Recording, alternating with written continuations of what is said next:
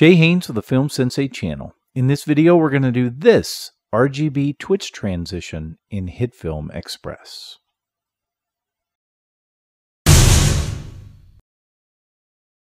This tutorial comes out of a request. Can you please make an RGB Twitch transition? You bet. But before we begin, do me a favor and like this video, and if you're not already, subscribe to the channel and click the little bell icon for notifications. It really helps my channel. Also, if you know anybody who would be interested in this kind of content, do me a favor and share it with them. Thank you.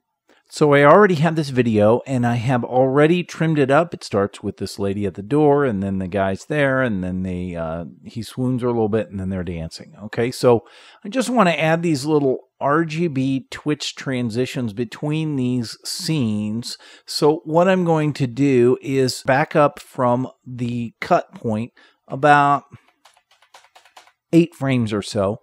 Uh, and using the slice tool, I'll just cut that. And then if I go and go about eight frames forward and cut that. Then I have a couple of sliced segments that I can use. If I just hit Control C or Command C on a Mac and then Control V, I'll just say create a new track and I'll place those directly above that new track. I probably don't want to double up on the audio if there was audio, so I'll just turn that track off. Or the other thing I can do is just highlight those, right click and say unlink each one of those, which is right here. So for example, if I only had one of these selected, I could unlink those and then selecting just the audio, I could delete that. And I could do the same with this one as well. So now that I have done that, what I want to do is add the secret sauce of this effect, which is the color balance effect and drop it onto the video 2 track layer. And I'm just going to move in here a little bit closer. Uh, and then I can select, you know, midtones and say, for instance, push up the red and pull down the green and blues. Now, if I set the blend mode to lighten, then if I slide the scale, changing the scale a little bit, or if I were to adjust the position here, then you can see how that adds that sort of RGB transition twitch there.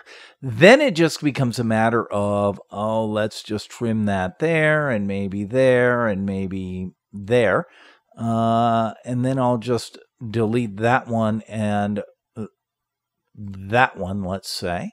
And now I just have this couple of pop pop, right? And maybe I'll move this one the other direction so that it looks a little differently. And so now it is, you know, that sort of a thing, right? Uh, and that's pretty much it. That's how you do it. You would do the same then on this one here.